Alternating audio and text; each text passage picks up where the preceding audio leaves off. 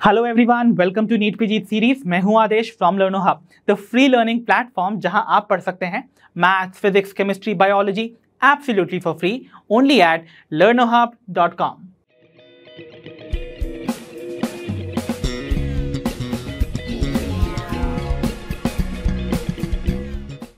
तो बच्चों, आज के सेशन में हम कवर करने जा रहे हैं हमारी ह्यूमन फिजियोलॉजी यूनिट के नेक्स्ट चैप्टर को that is breathing and exchange of gases और डिस्कस करेंगे आज के सेशन में इस पर्टिकुलर चैप्टर के इंपॉर्टेंट कॉन्सेप्ट को.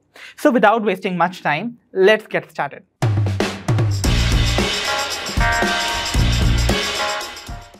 तो आइए बच्चों अब हम बिगिन करने जा रहे हैं अपने आज के सेशन को जो कि एंटायरली बेस्ड होने वाला है on the physical aspect of the respiration जो कि है the breathing and exchange of gases but before diving into it let us try to recall अभी तक हमने रेस्पायरेशन के बारे में क्या क्या सीखा है.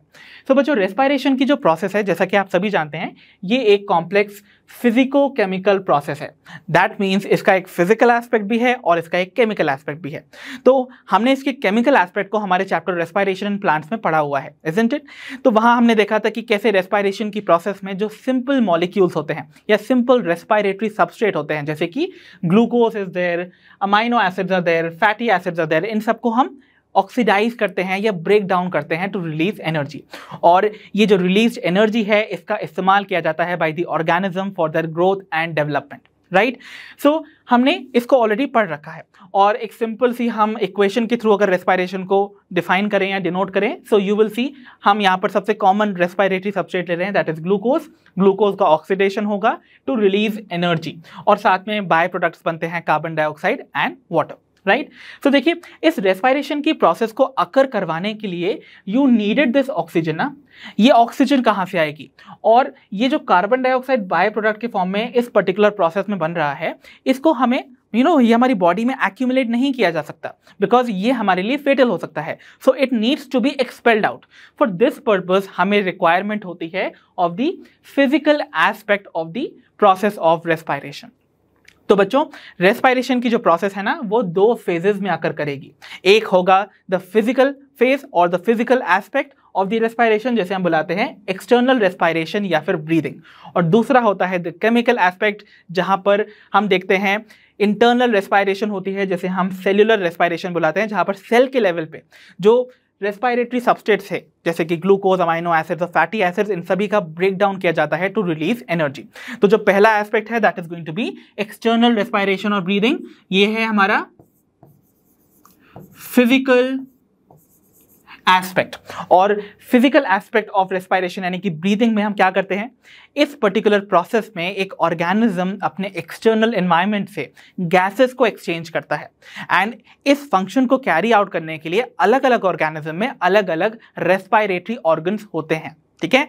जैसे कि हमारे केस में वी हैव लंग्स फिशेस के केस में they have gills and different organisms will have different respiratory organs ठीक है?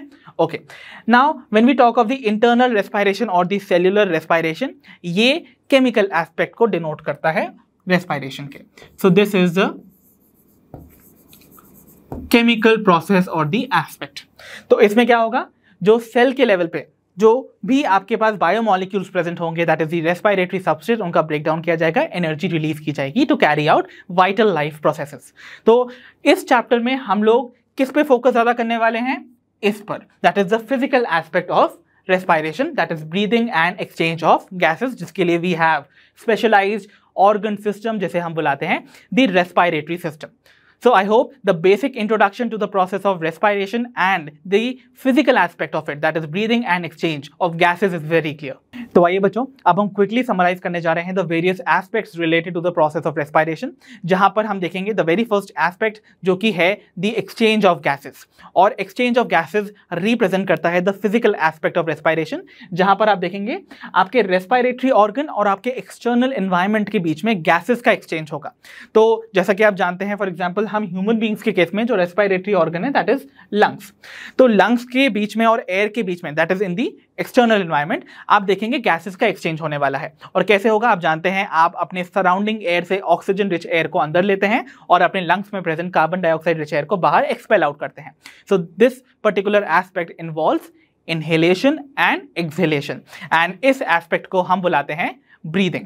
So, the very first aspect would be called breathing. Okay so पहला aspect of respiration would be breathing now अब हम जानते हैं breathing की process में आपने देखा जो आपकी एयर है that has reached up till the level of your respiratory organ अब रेस्पायरेटरी ऑर्गन यूजुअली वैस्कुलराइज होते हैं. दैट मीन्स वो सराउंडेड होते हैं with lot of blood vessels तो ऑब्वियसली जो एयर यहाँ पर पहुँची है at the end of your respiratory organ वो ऑब्वियसली डिफ्यूज हो जाएगी इनटू द ब्लड जो कि फ्लो कर रहा होगा ऑन ब्लड वेसल्स में. सो so, यहाँ पर आता है the second aspect of respiration that is diffusion of gases तो यहाँ पर आप देखने वाले हो होने वाला है diffusion of gases between your respiratory organ for example यहाँ पर हम लंग्स ही लिख लेते हैं एंड ब्लड ठीक है? So this is going to be the second step now अब ये जो ऑक्सीजन है या फिर आप कह सकते हो जो गैसेज हैं, वो आपके ब्लड में एंटर कर चुकी हैं। That means they have entered into your circulatory system now ये जो पर्टिकुलर गैसेज हैं they are going to travel along your circulatory system और ये सप्लाई की जाएँगी to the tissues which are needing them so the third aspect would be the transport of gases ठीक है? तो यहाँ पर आप देखोगे, एक बार गैसेज डिफ्यूज हो गई into the blood they are going to be transported so third step would be transport of gases in blood ठीक है? तो ये है द थर्ड स्टेप अब फाइनली आप जानते हैं, ये जो गैसेस हैं, वो पहुँच जाएँगी टू द टिश्यू और द सेल जो उसको रिक्वायर कर रहा है। तो जहाँ पर वो टिश्यू लेवल पर पहुँची है, वहाँ पर भी अगेन आपको डिफ्यूजन ऑफ़ गैसेस देखने को मिलेगा। Now this time it will be from the level of your circulatory system towards the cell which requires it तो सर्कुलेटरी सिस्टम से वो गैस जो है वो डिफ्यूज आउट होगी into the tissue which is requiring it so this is going to be the fourth step तो यहाँ पर आप क्या देखने वाले हो? अगेन डिफ्यूजन होने वाला है।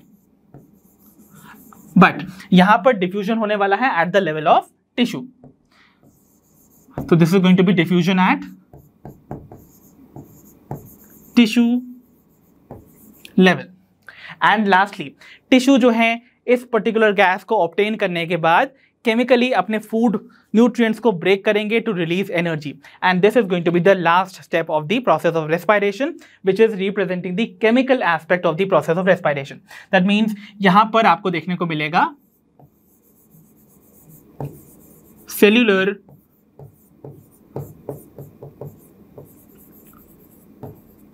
रेस्पायरेशन तो सेल्यूलर रेस्पायरेशन क्या डिनोट करता है? The chemical aspect that means यहाँ पर फ़ूड का ब्रेकडाउन होगा टू रिलीज़ एनर्जी तो इस केमिकल एस्पेक्ट को तो हम ऑलरेडी डील कर चुके हैं in our chapter plant respiration और रेस्पायरेशन इन प्लांट्स बाकी की जितनी भी फ़िज़िकल एस्पेक्ट्स हैं of this particular process we will be taking up in detail in this particular chapter तो आइए बच्चों, अब हम डिस्कस करने जा रहे हैं कुछ रेस्पायरेटरी ऑर्गन्स को जो कि आपको डिफरेंट एनिमल ग्रुप्स में देखने को मिलते हैं based on the level of organisation and their habitats in which these animal groups live so बात की जाए अगर लोअर इनवर्टिब्रेट्स की फॉर एग्ज़ाम्पल स्पॉन्जेस की सीलन सीलेंट्रेट्स की या फिर फ्लैटवर्म्स की। तो ऐसे लोअर इनवर्टिब्रेट्स के केस में सिंपल डिफ्यूजन के थ्रू ये particular animals gaseous exchange perform करते हैं।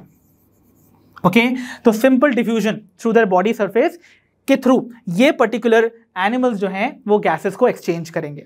देन अगर बात की जाए कुछ और इन्वर्टिब्रेट्स की फॉर एग्जांपल यहाँ पर अर्थ अर्थवर्म की बात की जा रही है। तो अर्थ अर्थवर्म के केस में इनकी ऊपर प्रेजेंट जो मॉइस्ट क्यूटिकल है that is going to help in the exchange of gases and the transportation of gases through their body then बात की जाए कुछ इंसेक्ट्स की तो इंसेक्ट्स के केस में आपको ना यहाँ पर कुछ ट्यूब्स का नेटवर्क देखने को मिलता है which are call the tracheal tubes okay so ये जो ट्रेकियल ट्यूब्स हैं, ये गैसेस को ट्रांसपोर्ट करते हैं within the body of the insect और उनके गैशियस एक्सचेंज पे हेल्प करते हैं राइट right? देन अगर बात की जाए, कुछ ऐसे आर्थ्रोपोड्स एंड मोलस की जो कि एक्वाटिक और टेरेस्ट्रियल हैबिटेट दोनों में ही थ्राइव करते हैं। तो अगर बात की जाए एक्वाटिक मोलस की या फिर आर्थ्रोपोड्स की फॉर एग्ज़ाम्पल यहाँ पर स्क्विड मैंशन है, ठीक है? So this is squid so squid जो कि एक मोलस्क है ये एक्वाटिक हैबिटेट में अगर रहता है so they exchange their gases with the help of a highly vascularise structure जैसे हम बुलाते हैं गिल्स ठीक है? और गिल्स के थ्रू अगर रेस्पायरेशन होता है we call this type of respiration as branchial respiration ठीक है?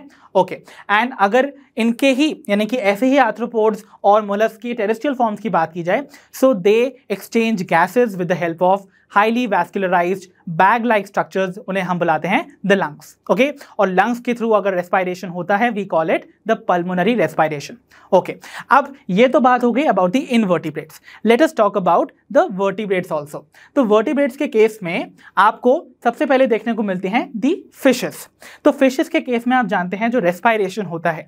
That is with the help of gills and gills के थ्रू ये रेस्पायरेशन अगर परफॉर्म करती हैं we call it the branchial respiration so इसे हम बुलाएँगे branchial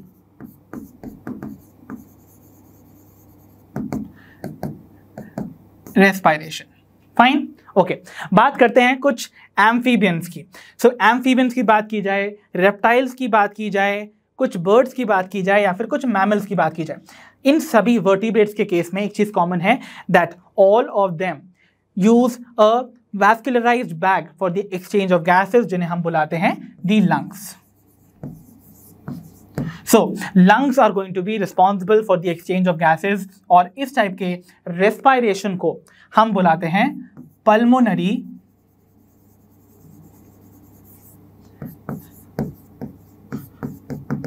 respiration. Fine okay and in fact ये जो एम्फीबियंस होते हैं, ये लैंड और वाटर दोनों में ही थ्राइव करते हैं. And when they thrive in water तो ऐसे में ये अपनी स्किन यानी कि मॉइस्ट स्किन के थ्रू भी रेस्पायर कर सकते हैं. And this type of respiration is called cutaneous respiration okay so cutan word जो है it is related to the skin and that is why जो रेस्पायरेशन इनकी स्किन के थ्रू होगी. बेसिकली द मॉइस्ट स्किन उसे हम बुलाएँगे cutaneous respiration so I hope the various respiratory organ जो की आपको डिफरेंट एनिमल ग्रुप्स में देखने को मिलते हैं वो अच्छे से समझ आए होंगे। तो बच्चों now we shall be taking up our human respiratory system तो बच्चों, जो हमारा ह्यूमन रेस्पायरेटरी सिस्टम है ना that is located in the thoracic chamber तो बच्चों, कहाँ है ये थोरेसिक चेंबर हमारी बॉडी में? Let us try to visualise it तो बच्चों, अगर आप अपनी बॉडी के सारे इंटरनल ऑर्गन्स को बाहर निकाल देते हैं सो so आपकी बॉडी अंदर से हॉलो हो जाएगी ना इजेंट इट तो आप देखेंगे इस लेवल पे आपको एक पार्टीशन देखने को मिलता है, जो कि बेसिकली एक मसल है and that muscle is called diaphragm तो ये जो डायफ्रैगम है, वो आपकी बॉडी की इंटरनल कैविटी को दो मेजर कैविटीज में डिवाइड करती है। तो इस डायफ्रैगम से ऊपर वाली जो बॉडी कैविटी है that is called the thoracic cavity ठीक है? और जो नीचे वाली कैविटी है that is going to be called the abdominal cavity right so ये है आपके थोरेसिक कैविटी का लैटरल व्यू ओके? तो साइड से देखने में आपको ये कैविटी नज़र आ रही है और इसका फ्रंट व्यू यानी कि एंटीरियर व्यू में आपको ये थोड़े से कैविटी ऐसी नज़र आएगी। सो so, इस थोरेसिक कैविटी में हमारे रेस्पायरेटरी सिस्टम के जो स्ट्रक्चर्स हैं they are going to be present mainly हमारे जो you know chief respiratory organs हैं दैट इज़ लंग्स वो यहाँ पर प्रेजेंट होंगे। So with the help of certain structure ये थोरेसिक कैविटी ना एक चेंबर में डिवाइड हो जाती है that is called the thoracic chamber तो उस थोरेसिक चेंबर को फॉर्म कौन करता है? सो थोरेसिक चेंबर को फॉर्म करते हैं कुछ स्ट्रक्चर्स जैसे कि पीछे की तरफ़ अगर आप देखेंगे, आपको ये जो यू नो डॉर्सल साइड पे डॉर्सल साइड क्या रिप्रेजेंट करता है? हमारा बैक साइड तो डॉर्सल साइड पे आपको वर्टिब्रल कॉलम देखने को मिलेगा, जो कि पीछे से आ रही है.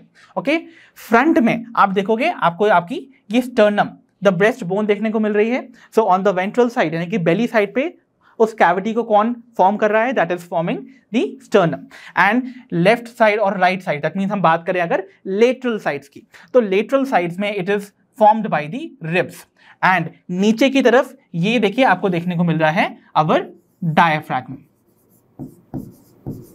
so this is that partition जो कि डिवाइड करता था बॉडी कैविटी को into two cavities major cavities जिन्हें हम बुलाते थे तो थोड़े से कैविटी देखिए, और थोड़ा से कैविटी क्या थी? डायफ्रैगम से ऊपर वाला हिस्सा।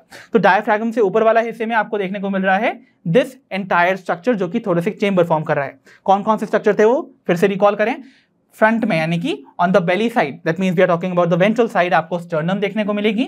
लेटरल साइड पे आपको रिब्स देखने को मिलेंगे, और जो डॉर्सल साइड है, वहाँ पर आपको आपकी वर्टिब्रल कॉलम देखने को मिलेगी। एंड इसके फ्लोर पे आपको डायफ्रैगम मसल देखने को मिलती है। So thoracic chamber is formed by the you know various structure जैसे कि अगर आप देखेंगे floor of the thoracic chamber जो है वो फॉर्म होता है बाय दी मस्कुलर डायफ्रैगम और डॉर्सली आपको देखने को मिलेगा वर्टिब्रल कॉलम का प्रेजेंस वेंट्रल साइड पे, यानी कि बेली साइड पे आपको स्टर्नम देखने को मिलेगी and on the lateral sides आपको देखने को मिलते हैं द रिब्स तो ये सारे स्ट्रक्चर्स मिलके फॉर्म करते हैं दिस थोरेसिक चेंबर और इस थोरेसिक चेंबर के अंदर आपके लंग्स सिचुएटेड होते हैं. तो आपको यहाँ पर आपके चीफ रेस्पायरेटरी ऑर्गन्स लंग्स नज़र आ रहे हैं. सो so, ये लंग्स आपके थोरेसिक चेंबर के अंदर प्रेजेंट हैं. एंड जो लंग्स होते हैं आपको देखने को मिलेंगे. यहाँ पर आपका जो रेस्पायरेटरी सिस्टम है ना बेसिकली वो कंपोज होता है नंबर ऑफ़ ट्यूब से and a pair of lungs जो कि आपके चीफ रेस्पायरेटरी ऑर्गन्स हैं. So I hope the basic introduction to the human respiratory system is very clear तो बच्चों, अब हम लेने जा रहे हैं एक visual overview of our human respiratory system तो बच्चों रेस्पायरेशन की प्रोसेस का एक बहुत इंपॉर्टेंट एस्पेक्ट होता है दैट इज़ ब्रीदिंग और ब्रीदिंग में हम क्या करते हैं बच्चों? हमारे एक्सटर्नल इन्वायरमेंट से हम ऑक्सीजन रिच एयर को अंदर इनहेल करते हैं और हमारे लंग्स में present carbon dioxide rich air को बाहर एक्सपेल आउट करते हैं. Isn't it? And for that purpose, आपकी बॉडी का कौन सा वो ऑर्गन है जो कि आपको एक्सटर्नली विजिबल नज़र आता है, जो कि इसमें डायरेक्टली पार्टिसिपेट करेगा? That is going to be our nose तो नोज़ के थ्रू आखिर ये जो एक्सटर्नल एयर है, वो हमारे रेस्पायरेटरी सिस्टम में कैसे एंटर करेगी? That is going to be with the help of two opening जिन्हें हम बुलाते हैं द नॉस्ट्रल्स राइट तो आपके नोज़ में आपको दो ओपनिंग्स नज़र आती हैं, जिन्हें हम नॉस्ट्रल्स बुलाते हैं और ये सिंस ओपन होती हैं to the outer environment we call them the external nostrils तो देखिए, इस नोज़ वाले रीजन में आपको यहाँ पर ये जो ओपनिंग नज़र आ रही है that is going to be refer to as the external nostril.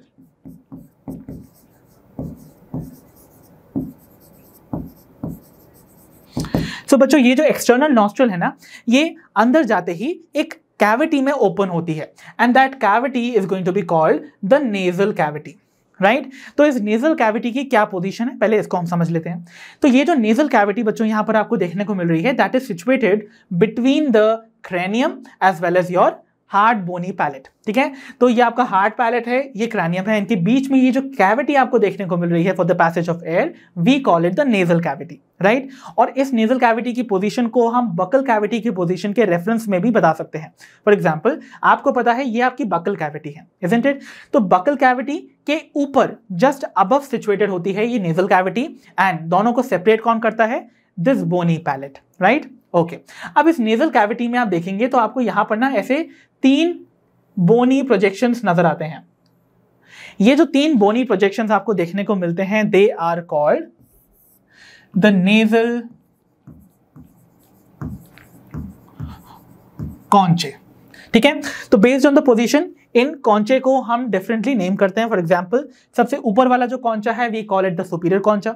बीच वाले को हम मीडियम कॉन्चा बुलाते हैं और सबसे नीचे वाले को हम इन्फीरियर कॉन्चा बुलाते हैं. और ये जो तीन नेजल कॉन्चे हैं, ये आपके इनहेल्ड एयर को टर्बुलेंस प्रोवाइड करते हैं. दैट मीन्स ये इनहेल्ड एयर की स्पीड को इंक्रीज कर देते हैं. ओके? एंड साथ ही साथ ये जो नेजल कॉन्चे हैं, ये आपकी नेजल कैविटी के ओवरऑल सर्फेस एरिया को भी इंक्रीज करते हैं. ओके? ओके। अब इस नेजल कैविटी की एक और खासियत है। इस नेजल कैविटी को लाइन कर रहे होती है एक स्पेशल एपिथीलियम और वो special epithelium different function perform करती है।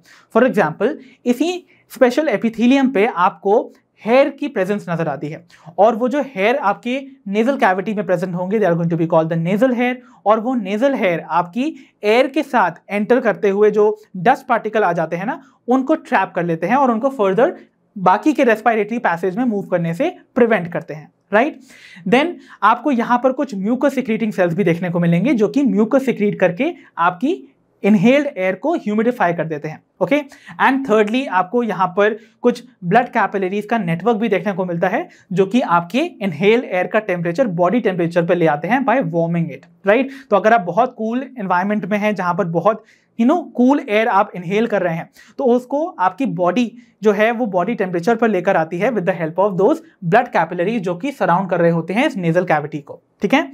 ओके सो ये तो था all about the nasal cavity now nasal cavity further lead करती है into the next part of the respiratory tract जैसे हम बुलाते हैं फेरेंस और फेरेंस आप जानते हैं एक ऐसा रीजन है जो कि कॉमन होता है to both the passage of food as well as the air तो यहाँ से एयर फ़ूड दोनों ही पास कर सकता है. एंड ये जो फेरिंग्स वाला रीजन है, उसमें ओपन होने वाला जो आपकी नेजल कैविटी का पोर्शन है that is going to be the internal nostril तो देखिए नेजल कैविटी अगेन एक ओपनिंग के थ्रू ही फेरिंग्स में ओपन होगी। That opening would be since वो अंदर की तरफ़ ओपन हो रही है we call them the internal nostril ठीक है? ओके नाउ ये जो इंटरनल नॉस्ट्रल है, ये फेरेंक्स में ओपन होगी। अब फेरेंक्स के बारे में मैंने आपको अपने डाइजेस्टिव सिस्टम वाले चैप्टर में बताया था कि इसके तीन रीजन होते हैं। एक ऐसा रीजन जो कि आपकी नेजल कैविटी के जस्ट बिहाइंड लाई कर रहा है। फॉर एग्ज़ाम्पल फेरेंक्स का ये वाला रीजन जो कि नेजल कैविटी के जस्ट पीछे है we call it the nasopharynx so nasopharynx जो है that is going to be that region of the pharynx जो कि आपके नेजल कैविटी के जस्ट बिहाइंड है। फाइन ओके एंड नाउ ये जो नेजोफेरेंस है, उसके थ्रू एयर जो है, वो मूव करेगी फेरिंग्स के अदर पार्ट्स दैट इज़ आप जानते हैं बकल कैविटी के पीछे वाला जो फेरिंग्स का रीजन है that is called oropharynx and एक और जो आपको फेरिंग्स का रीजन देखने को मिलता है that is just beside the larynx which is the voice box उसे हम बुलाते हैं द लैरिंजोफेरिंग्स ठीक है? तो एयर जो है from the pharynx will move to the next part of the respiratory tract that is going to be the larynx ठीक है? सो लैरिंग्स जो है this is called the voice box ये हमारा वॉइस बॉक्स है that further leads to the trachea तो ये further open होता है into the trachea which is our windpipe ठीक है? तो ये जो वॉइस बॉक्स है लेयरिंग्स है this is a completely cartilaginous structure ये कार्टिलेज का बना हुआ स्ट्रक्चर है, जो कि ऑब्वियसली साउंड के प्रोडक्शन में हेल्प करता है that is why we call it a voice box and ये लेटर ऑन मूव करके आप देखेंगे, नीचे की तरफ़ ओपन होता है टू द ट्रेकिया और द विंड पाइप तो आइए the remaining parts of the respiratory tract को हम और डिटेल में समझने की कोशिश करते हैं। तो देखिए, यहाँ पर आपको देखने को मिल रहा है this is going to be our larynx region ठीक है? तो इस लैरिंग्स वाले रीजन में आपको यहाँ पर एक बोन नज़र आ रही है। So this is going to be a bone ये जो बोन आपको नज़र आती है this is called the hyoid bone और ये जो बोन है ना बच्चों, ये प्रेजेंट होती है right at the base of our tongue ठीक है? तो देखिए यहाँ पर आपको ये लैरिंग्स नज़र आ रहा है। सो so, ये जो स्ट्रक्चर आपको लैरिंग्स का नज़र आता है सिंस मैंने बोला है ये एक वॉइस बॉक्स है दैट मीन्स ये इसका बॉक्स लाइक ही स्ट्रक्चर होगा। तो इस बॉक्स लाइक स्ट्रक्चर का जो लिड है that is formed by the epiglottis ठीक है? तो ये जो एपीग्लॉटिस है इसके बारे में हमने अगेन हमारे डाइजेस्टिव सिस्टम में भी पढ़ा हुआ था। सो so, ये जो एपिग्लॉटिस है ये एक फ्लैप लाइक स्ट्रक्चर है जो कि प्रेजेंट होता है at the junction of your glottis, ठीक है? तो वहाँ पर आप देखते हैं, ये कार्टिलेज का बना स्ट्रक्चर जो है, ये नॉर्मली क्या होता है? ये ऐसे खुला हुआ होता है for the air to pass through into the larynx और द ट्रेकिया ठीक है? देन अगर फ़ूड सोलो करते टाइम ये हमारा जो फ़ूड बोलस है, इस एपीग्लॉटिस पे फॉल करेगा this epiglottis will you know close और उसके टाइम पर क्या होगा? That food will directly move into the oesophagus ताकि हमारा जो फ़ूड है वो हमारे रेस्पायरेटरी ट्रैक्ट या फिर विंड पाइप में एंटर ना कर पाए during the swallowing time right तो ये हम ऑलरेडी पढ़ चुके हैं ओके okay. तो ये जो एपिग्लॉटिस होता है ना बच्चों this is the part of your larynx itself because I have told you ये जो लैरिंग्स है this is a completely cartilaginous structure that means ये कार्टिलेज का बना होता है। सो so, ये है कार्टिलेजिनस इन नेचर ठीक है? तो यहाँ पर आपको एक जो कार्टिलेज का एक्सटेंशन है एपिग्लॉटिस के फॉर्म में नज़र आ रहा है। So let me tell you one more thing ये जो लैरिंग्स है, ये बेसिकली फॉर्म्ड होता है ऑफ़ नाइन कार्टिलेजेस जिनमें से तीन कार्टिलेज जो हैं they are unpaired and three are going to be paired so so, जो तीन अनपेड कार्टिलेजेस आपको देखने को मिलेंगे वो आपको फ्रंट व्यू में देखने को मिल सकते हैं। तो उनमें से सबसे पहला जो अनपेड कार्टिलेज है वो तो एपीग्लॉटिस ही है ठीक है? जो सेकंड आपको देखने को मिलेगा वो आपको कुछ यहाँ पर नज़र आता है। सो so, ये जो आपको कार्टिलेज देखने को मिल रहा है this is the largest of all the cartilages जो लैरिंग्स में प्रेजेंट है and we call this particular cartilage as the thyroid cartilage ठीक है?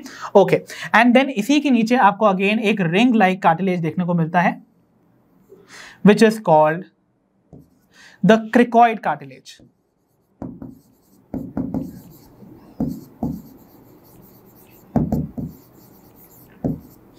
तो तीन unpaired cartilages epiglottis thyroid cartilage and cricoid cartilage आपको देखने को मिलेंगे forming the larynx from the anterior view और द फ्रंट व्यू राइट बाकी के जो आपको तीन पेड कार्टिलेजेस देखने को मिलेंगे that will be seen at the back और द पोस्टीरियर व्यू में। और देखिए यहाँ पर हाइड बॉन्ड और थायराइड को कनेक्ट करता हुआ आपको एक मेम्ब्रेन भी नज़र आती है। तो this is going to be a membrane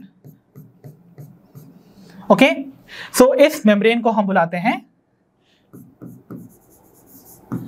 thyrohyoid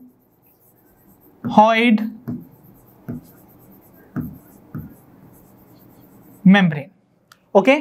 Okay now this is going to be this membrane now पीछे की तरफ़ से अगर हम देखना चाहें तो हमको देखने को मिलेंगे द थ्री पेड कार्टिलेजेस तो देखिए पेड कार्टिलेजेस आपको कैसे देखने को मिलेंगे? तो देखिए, पीछे से आपका ये क्रिकॉइड कार्टिलेज ही आ रहा है. ओके नाउ यहाँ पर आपको देखने को मिल रहा है the first pair so this is our first pair इस फ़र्स्ट पेयर ऑफ़ कार्टिलेज को हम बुलाते हैं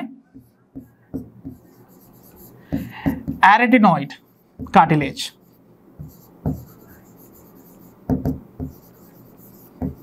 ठीक है? तो this is the arytenoid cartilage arytenoid cartilage के ऊपर आपको अगेन एक पेयर ऑफ़ कार्टिलेज देखने को मिलेगा which is called corniculate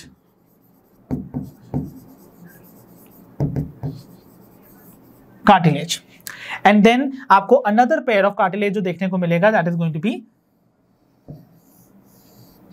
this one which is called the cuneiform cartilage तो ये तीन पेड कार्टिलेज आपको देखने को मिलेंगे in case of the larynx okay and since मैंने आपको बोला है, ये वॉइस बॉक्स भी बुलाते हैं, इसको हम द रीजन इज़ बिकॉज़ यहाँ पर आपको कुछ कॉर्ड्स देखने को मिलती हैं जो कि इसके ऊपर से आप जब बीच में देखेंगे, तब आपको देखने को मिलेंगी। तो those cords are going to help in the production of sound so देखिए, यहाँ पर अगर हम ऊपर से नीचे की तरफ़ देखेंगे तो आपको यहाँ पर कुछ फाइब्रो इलास्टिक कॉर्ड्स देखने को मिलती हैं। These cords are going to be called the vocal cords जो कि आपको वन पेयर ही देखने को मिलेगी ठीक है? Of true vocal cords okay so ये वोकल कॉर्ड जो हैं दे इन, इनकी जो कॉर्ड्स होती है ना उनमें टेंशन को वेरी करने पे ड्यूरिंग एक्सपायरेशन जब हम एक्सेल करते हैं ना एयर तो एक्सेलेशन के टाइम पे इनकी जो वोकल कॉर्ड्स हैं उनमें टेंशन वेरी करता है और उस वजह से साउंड का प्रोडक्शन आपको देखने को मिलेगा. Fine so this was all about the larynx now we move on to the next part of our respiratory system जो कि होगा दी ट्रेकिया तो आपको पता है larynx lead to the trachea which is the wind pipe तो देखिए trachea में आपको, ये तो आपका ट्रेकियल ट्यूब है। So this is the trachea और जिसको कि हम सिंपली विंड पाइप बुलाते हैं। Okay okay? तो विंड पाइप में आप ध्यान से देखेंगे तो आपको ना यहाँ पर कुछ ऐसी कार्टिलेजनस रिंग्स देखने को मिलती हैं। सो ये जो कार्टिलेजनस रिंग्स आपको देखने को मिलेंगी they are going to be C shaped मतलब ये आगे से तो कंप्लीट नज़र आ रही हैं, पीछे से इनकम्प्लीट है. So these are the C shaped cartilaginous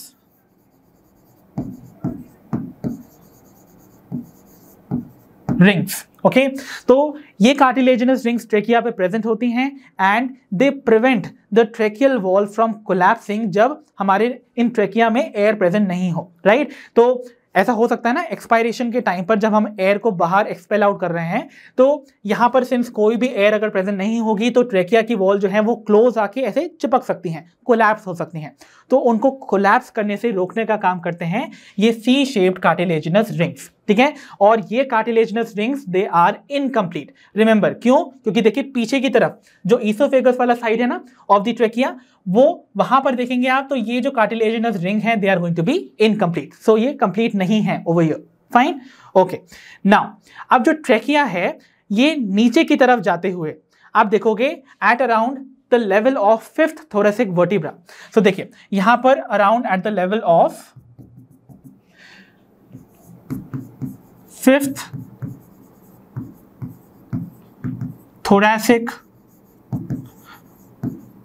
vertebra आप देखेंगे ये ट्रेकिया डिवाइड कर जाता है बायफर्केट कर जाता है into two parts okay so trachea further divide करके आपको दो ट्यूब्स बनाता हुआ नज़र आ रहा है जो कि एंटर करेगा in each of the two lungs जो कि हमारे चीफ रेस्पायरेटरी ऑर्गन्स है।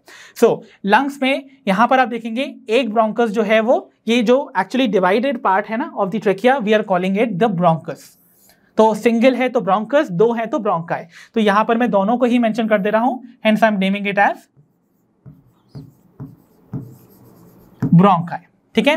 तो ईच ऑफ़ द ब्रोंकस जो कि आपके लंग्स में एंटर कर रहा है it is going to further divide ठीक है? और ये लंग के अंदर जाते ही डिवाइड कर करके, देखिए कैसे डिवीज़न शो करेगा। तो एक लेट सपोज़ ये ब्रोंकस है, जो कि लंग के अंदर एंटर किया है।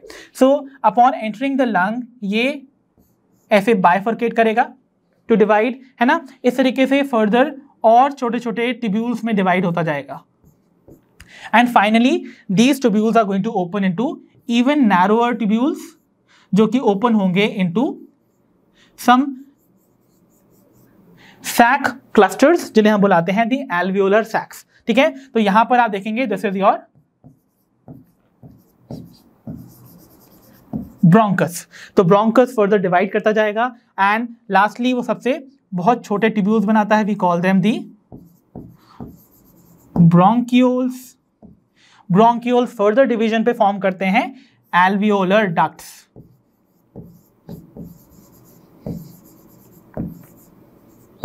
और ये जो एल्वियोलर डक्ट्स हैं, ये ओपन होती हैं into these cluster of some spherical structure जिन्हें हम बुलाते हैं दी एल्वियोलर सैक्स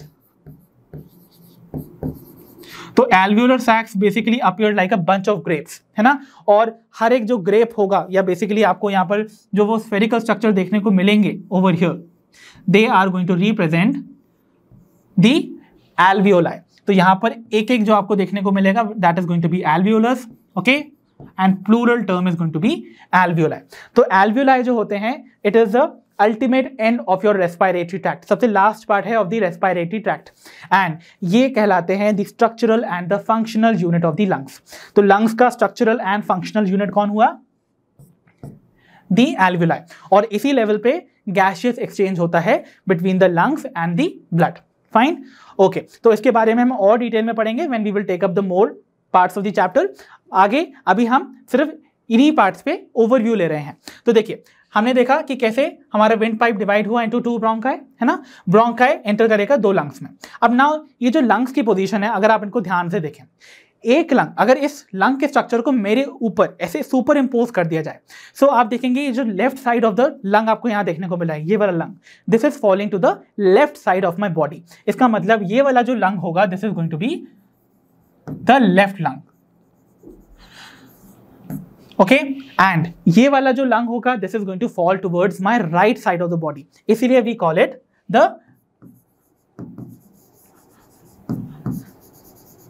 right lung तो हमेशा जो साइड्स होंगी आपकी बॉडी के अंदर, वो हमेशा आपको इस पर्सपेक्टिव से देखनी है एज इफ़ आप वहाँ पर सामने प्रेजेंट हो, उस पर्टिकुलर ऑर्गन को अपने ऊपर सुपर इम्पोज करते हुए। ठीक है? तभी आपको उनकी करेक्ट जो डायरेक्शन है, वो समझ में आ जाएगी। Okay so this is the left lung this is the right lung आइए इन दोनों लंग्स के बारे में कुछ डिटेल्स जानते हैं। तो लंग्स में अगर हम देखें लेफ़्ट लंग को तो लेफ़्ट लंग में आप देखेंगे, एक आपको ऑब्लिक सा फिजर देखने को मिल रहा है, एक डिप्रेशन देखने को मिल रही है। ये जो ऑब्लिक फिजर है, ये आपके लंग को दो लोब्स में डिवाइड करता है। So this is our oblique fissure so oblique fissure जब लंग को डिवाइड करेगा लेफ़्ट लंग को टू लोब्स में द अपर लोब क्योंकि ये ऊपर की तरफ़ प्रेजेंट है we call it the superior lobe of the left lung and this is going to be the inferior lobe right okay so यहाँ पर हमने देखा कि हमारा जो लेफ़्ट लंग है दैट इज़ बाय लोब और उसको लोब्स में डिवाइड कौन करता है? एक oblique fissure right? Then we see to the right lung तो राइट लंग में आप देखोगे यहाँ पर आपको दो की बजाय तीन लोब देखने को मिलेंगी। दैट मीन्स यानी कि यहाँ पर आपको दो फिजर देखने को मिलेंगे। एक fissure just like the left lung आपको ऑब्लिकली नज़र आएगा। So this one is going to represent oblique fissure और ये वाला जो आपको फिजर देखने को मिल रहा है this is rather more horizontal okay तो इस वाले को हम बुलाते हैं the horizontal fissure okay okay? तो ये जो हॉरिजॉन्टल और ऑब्लिक फिशर है, ये राइट लंग को थ्री लोब्स में डिवाइड कर रहा है सबसे ऊपर वाला lobe would be your superior lobe बीच वाले लोब को हम बुलाते हैं द मीडियन लोब एंड नीचे वाले लोब को हम बुलाते हैं इंफीरियर लोब राइट तो इस तरीके से आपने देखा, आपका जो राइट लंग है that is going to be trilobed और उसकी तीन लोब्स को फॉर्म कौन कर रहा है? The and the oblique fissure right so this was about the right lung अब लेफ़्ट लंग की एक और इंपॉर्टेंट खासियत है बच्चों। लेफ़्ट लंग के अंदर, आप देख रहे हो, यहाँ पर ना आपको एक नॉच देखने को मिल रहा है, एक इनवर्ट डिप्रेशन देखने को मिल रही है। This notch is going to be called the cardiac notch तो बच्चों, ये जो कार्डियक नॉच है ना, ये देखिए, नाम ही बता रहा है कार्डियक वर्ड हमेशा हार्ट से रिलेटेड होता है तो पहली चीज़ आपको हमेशा याद रखना है, ये जो कार्डियक नॉच है this is going to be always present in the left lung right right? और ये जो बेसिकली स्पेस है ना this is just to accommodate your heart तो आप जानते हैं ना, आपका जो हार्ट है that is slightly tilted towards the left although वो सेंटर में प्रेजेंट है बट वो स्लाइटली लेफ़्ट साइड पे टिल्टेड होता है. So to accommodate that left tilted portion यहाँ पर there is a space which is called the cardiac notch तो यहाँ पर एक्चुअली आपका हार्ट का यू you नो know, जो लेफ़्ट टिल्टेड पोर्शन है that is going to be accommodated fine okay so ये तो था the overview of the respiratory system अब रेस्पायरेटरी सिस्टम में हमने वेरियस पोर्शन पढ़ लिए. अब हमको ये देखना है कि आखिरकार जो हमारी एयर हम इनहेल करेंगे, वो हमारे रेस्पायरेटरी सिस्टम में कैसे पास करेगी? So we are going to be starting about the respiratory pathway तो किस पाथवे के थ्रू हमारी एयर जो है वो मूव करती है या फिर हम बेसिकली पढ़ने वाले हैं तो passage of air inside the human respiratory system तो आप जानते हैं, हम अपने एयर को अपनी एक्सटर्नल इन्वायरमेंट से नोज़ के थ्रू ही तो इनहेल करते हैं ना? तो सबसे पहले उनको इनहेल करने के लिए there is going to be the presence of these opening which are call the external nostrils right external nostrils से हमारी जो एयर है that is going to open into the nasal cavity right nasal cavity open होता है into the next part of the respiratory system that is the pharynx तो मतलब air जो है वो नेजल कैविटी से फेरिंग्स में एंटर करी। फेरिंग्स के बाद it will move through your larynx which is the voice box. Voice box के बाद it will move to the windpipe that is trachea. Trachea, आपने देखा था फिफ्थ thoracic cavity, या सॉरी फिफ्थ thoracic चेम्बर और vertebra के level पे आप देखोगे वहाँ पर वो डिवाइड कर जाता है बाइफर्केट कर जाता है इनटू टू ब्रोंकाई तो ब्रोंकाई जो है, वो फर्दर डिवाइड करके ब्रोंक्यूल्स फॉर्म करते हैं। ब्रोंक्यूल्स फर्दर लीड करते हैं to the alveolar sacs and alveolar sacs finally finally lead करते हैं to the alveoli which is the ultimate end of your respiratory pathway isn't it तो यहाँ पर जाके आपकी एयर फाइनली पहुँच जाती है और एल्व्यूलाई के लेवल पर ही आपकी गैसेस का एक्सचेंज होता है with the blood so I hope the entire overview of the human respiratory system is very clear to all of you तो बच्चों after taking the visual overview of the human respiratory system आइए, अब हम various parts of the respiratory systems के बारे में कुछ और डिटेल्स जान लेते हैं वन बाय वन सबसे पहले we are beginning with our nasal cavity तो बात की जाए बच्चों नेजल कैविटी की लोकेशन की I had taught you nasal cavity आपके क्रैनियम और बोनी पैलेट के बीच की कैविटी है right so this is the nasal cavity और इस कैविटी की पोजीशन आप बकल कैविटी के रेफरेंस में भी दे सकते हैं। आपको पता है माउथ के अंदर की जो कैविटी है this cavity is called the buccal cavity तो बकल कैविटी के रेफरेंस में अगर नेजल कैविटी की पोजीशन देखी जाए तो we can say nasal cavity is located just above the buccal cavity and दोनों को सेपरेट कौन कर रहा है? दिस बोनी पैलेट जिसे हम हार्ट पैलेट भी बुलाते हैं, ठीक है? ओके. अब बात की जाए इस नेजल कैविटी के ओपनिंग की।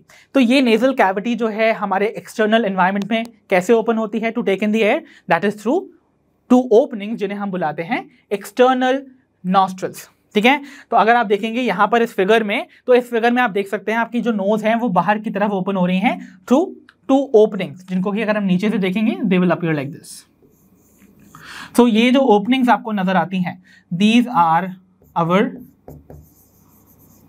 external nostrils ठीक है? और एक्सटर्नल नॉस्ट्रल्स के बीच को यू नो बीच में अगर आप देखेंगे, इन दोनों को सेपरेट करता हुआ आपको एक पार्टीशन नज़र आएगा which is called the septum ठीक है?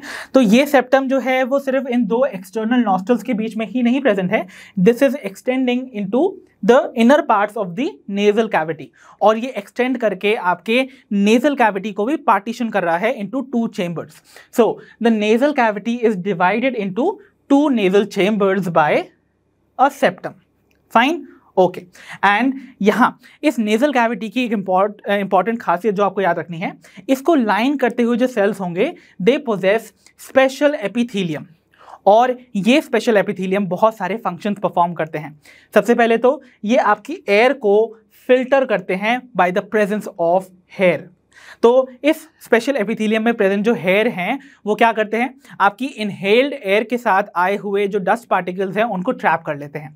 साथ ही साथ, यहाँ पर ये जो एपिथीलियम है, उसमें प्रेजेंट कुछ म्यूकस सिक्रीटिंग सेल्स म्यूकस को सिक्रीट करते हैं, ताकि वो आपकी इनहेल्ड एयर को मॉइसन कर सके। तो उसको मॉइस्चर प्रोवाइड करती हैं।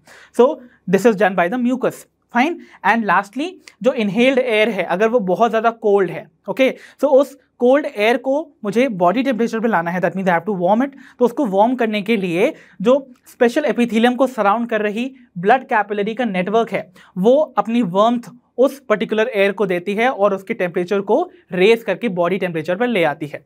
तो दिस वे आप देखोगे, यहाँ पर ये जो स्पेशल एपिथीलियम लाइन कर रही है नेजल कैविटी को it performs very very important functions आइए जानते हैं कुछ और इंपॉर्टेंट पॉइंट्स को regarding the nasal cavity so nasal cavity की लाइनिंग में ही आपको कुछ special you know olfactory membrane देखने को मिलेगी।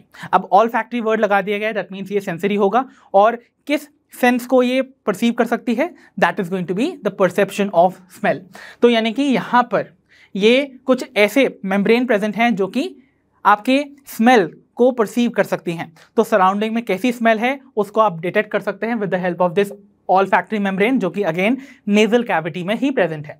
राइट देन नेजल कैविटी में आपको तीन बोनी प्रोजेक्शन देखने को मिलते हैं, जिन्हें हम क्या बुलाते हैं? द नेजल कॉन्चे तो नेजल कॉन्चे जो कि यहाँ पर आपको नज़र भी आ रहे हैं। These are going to be the three nasal conchae सबसे ऊपर वाला क्या कहलाता था? Superior concha then this was the median concha और सबसे नीचे वाला वॉज़ दी इंफीरियर कौनचा? तो ये जो तीन कौनचे हैं, ये बोनी प्रोजेक्शन हैं। और ये इनका क्या काम है? ये आपके एयर को टर्बुलेंस प्रोवाइड करते हैं। दैट मीन्स आपके इनहेल एयर का जो स्पीड है, उसको इंक्रीज कर देते हैं। So they provide turbulence to the inhaled air and साथ ही साथ ये ओवरऑल सर्फेस एरिया को भी इंक्रीज कर देते हैं ऑफ़ दी नेजल कैविटी क्योंकि ये प्रोजेक्शन के फॉर्म में प्रोड्यूड आउट कर रहे हैं right and finally this nasal cavity finally ends into the two internal nostrils. तो दो nasal chambers है ना दो nasal chambers again क्योंकि वो partition थे बीच में septum present है तो finally when they will open into the next part of the respiratory system that is pharynx so they will open through two openings जिन्हें हम बुलाते हैं the nasal obviously the internal nasal nostrils or simply we can say the internal nostrils. So I hope the various details about the nasal cavity is very clear to all of you. Let's move on to our next part. तो आइए बच्चों, अब हम discuss करने जा रहे हैं the next part of the respiratory system that is our pharynx pharynx जिसको कि हम कॉमनली बुलाते हैं द थ्रोट राइट तो आप जानते हैं फेरिंग्स रिप्रेजेंट करता है वो रीजन जो कि कॉमन है to the passage of both air as well as the food है ना? तो यहाँ से एयर और फ़ूड दोनों पास कर सकता है। एंड फिजियोलॉजिकली हम फेरिंग्स को तीन रीजन्स में डिवाइड करते हैं। तो डिपेंडिंग अपॉन कि वो किस यू नो स्ट्रक्चर के बिहाइंड प्रेजेंट है. फॉर एग्ज़ाम्पल नेजल कैविटी के पीछे अगर फेरिंग्स का रीजन प्रेजेंट है we call this blue portion as a nasopharynx ठीक है? So the portion of the fairings जो कि आपके बकल कैविटी के पीछे है दैट इज़ ओवर योर ये पर्पल रीजन से जो रिप्रेजेंट किया जा रहा है that is going to be called the oropharynx because you know it is behind the oral cavity और अदर द बकल कैविटी ठीक है? Then the third region is just beside your larynx we call it the laryngopharynx ठीक है? तो इन तीनों ही region के through different different particles move कर सकते हैं। फॉर एग्ज़ाम्पल नेजोफेरिंग्स के through only air will pass so यहाँ पर ओनली एयर पासिस ठीक है?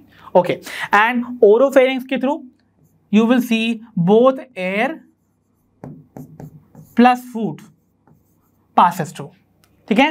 एंड लैरेंजोफेरिंग्स के through only food passes down into the esophagus in case of the laryngopharynx ठीक है?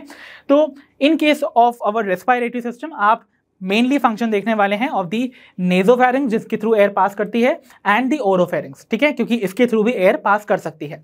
सो so, फेरिंग्स वो रीजन है जो कि लीड करेगा एयर को जो कि आपके नेजल चेंबर से आ रही है और नेजल कैविटी से आ रही है into the trachea okay so trachea यानी कि द विंड पाइप तो ट्रेकिया में इसको लीड करेगा through the voice box call the larynx तो next part of the respiratory system would be our larynx जिसको कि अब हम डील करने वाले हैं. तो आइए बच्चों, अब हम डिस्कस करने जा रहे हैं about the next part of our respiratory system that is larynx larynx जिसको कि हम कॉमनली बुलाते हैं द वॉइस बॉक्स सो बच्चों वॉइस बॉक्स है ऑब्वियसली द नेम सजेस्ट कि ये एक बॉक्स लाइक स्ट्रक्चर होगा, जिसका कि आपको एक लिड भी देखने को मिलेगा बॉक्स का एक लिड भी होता है ना? तो यहाँ पर देखिए, ये आपको एक बॉक्स लाइक स्ट्रक्चर देखने को मिल रहा है, जिसका कि ये लिड भी फॉर्म हो रहा है, ठीक है?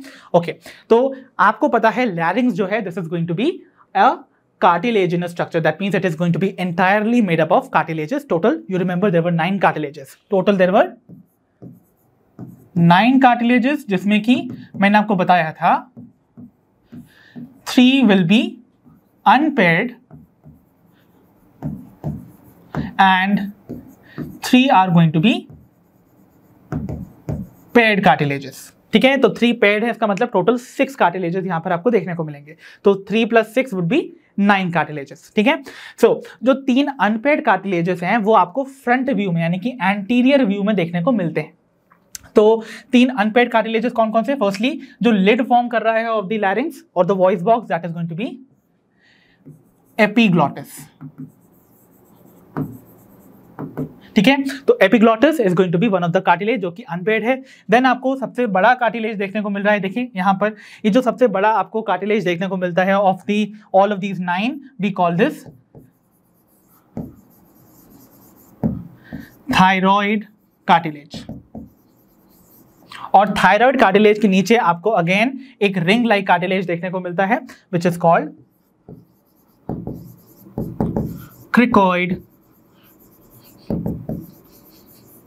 cartilage ठीक है? तो तीन अनपेड कार्टिलेज आपके सामने यहाँ पर मेंशन है। बाकी जो रिमेनिंग आपके तीन पेड कार्टिलेजेस हैं which comprises of the retinoid corniculate and cuneiform cartilage वो आपको पोस्टीरियर व्यू में देखने को मिलेंगे, यानी कि पीछे से देखने को मिलते हैं। फाइन ओके तो वो आपको एंटीरियर व्यू यानी कि फ्रंट व्यू में देखने को नहीं मिलेंगे। फाइन अब बात करी जाए करी जाए लोकेशन की। तो लैरिंग्स जो है it is located at the opening of the trachea तो आप जानते हैं trachea which is your wind pipe इसकी ओपनिंग यानी कि ऊपर वाला जो हिस्सा है, उस पर आपको सिचुएटेड नज़र आता है द लैरिंग्स ठीक है? तो लैरिंग्स कहाँ प्रेजेंट है? ओपनिंग ऑफ़ ट्रेकिया में। एंड बेसिकली ये वो स्ट्रक्चर है जो कि आपके फेरिंग्स वाले रीजन को, यानी कि थ्रोट वाले रीजन को आपके ट्रेकिया यानी कि विंड पाइप से कनेक्ट करता है। फाइन ओके अब आपको लैरिंग से रिलेटेड कुछ टर्म्स पहली चीज़ समझने होंगे that is firstly we call glottis so glottis क्या है बच्चों? आपको पता है आपकी लैरिंग्स की जो ओपनिंग है that is in the form of a slit तो it is a slit like opening जो कि आपको लैरिंग्स की देखने को मिलेगी. सो so, अगर आप ऊपर से देखेंगे ना तो आपको कुछ ऐसी एक स्लिट लाइक ओपनिंग देखने को मिलती है। This slit like opening is going to be called glottis ठीक है? So this is the glottis and glottis के ऊपर आपको एक कार्टिलेजिनस फ्लैप लाइक स्ट्रक्चर देखने को मिलेगा which is going to be called epiglottis because epi means above है ना? तो एपीग्लॉटिस मीन्स ग्लॉटिस की ऊपर जो आपको कार्टिलेजिनस फ्लैप देखने को मिलेगा that is going to be epiglottis और ये स्ट्रक्चर बहुत इंपॉर्टेंट है बिकॉज़ ये ही वो स्ट्रक्चर है जो कि क्लोज कर देता है आपके ग्लॉटिस को वाइल वी आर swallowing. तो swallowing के टाइम पे हो सकता है आपका फ़ूड पार्टिकल जो है, वो आपके रेस्पायरेटरी ट्रैक्ट में एंटर कर जाए टू प्रिवेंट इट ये एपीग्लॉटिस जो है, वो ग्लॉटिस की ओपनिंग को क्लोज कर देगा फॉर टाइम बी एंड उस टाइम में आप देखेंगे आपका फ़ूड जो है, वो इसोफेगस में एंटर कर जाएगा. So it is a cartilaginous flap like structure that closes the glottis while swallowing the food ठीक है? So it is going to be an important one so ये तो थी कुछ बेसिक इन्फॉर्मेशन अबाउट लैरिंग्स आइए larynx से related कुछ और इंपॉर्टेंट इन्फॉर्मेशन को हम स्टडी करते हैं। फर्स्टली आपको एक चीज़ और याद रखनी है कि मेल्स के केस में आपको जो यू you नो know, जो आपका थायराइड कार्टिलेज है which is the largest cartilage among all those nine cartilages उसका ना आपको एक प्रोट्यूबरेंस देखने को मिलेगा। वो बाहर की तरफ़ ना ऐसे बल्ज आउट करता हुआ नज़र आता है इन केस ऑफ़ मेल्स तो देखिए यहाँ पर आपको ऐसी बल्जिंग जो देखने को मिल रही है ना दैट बल्जेड पोर्शन और the protuberance is going to be called as the Adam's apple तो वो जो एडम्स एप्पल है ना, in case of males, it is nothing but the protuberance of the, one of the cartilages of your larynx. And वो cartilage कौन सा है? The thyroid cartilage. ठीक है? सो मेल्स में Adam apple seen is a protruding cartilage of the larynx इस बात को याद रखिएगा। देन लैरिंग्स जो है, उनमें आपको कुछ यू नो वोकल कॉर्ड देखने को मिलती है usually a pair of vocal cords तो one pair of vocal cord यानी कि two vocal cords will be there जो कि बेसिकली फाइब्रो इलास्टिक लिगामेंट्स हैं. यानी कि कुछ ऐसी इलास्टिक लिगामेंट जो कि फाइबर से मिलकर बनी हुई हैं. सो so, आपको यहाँ पर देखिए यहाँ पर कुछ ऐसी यू नो लिगामेंट देखने को मिल रही हैं which are fibro elastic and these are representing the vocal cords तो ये हैं आपकी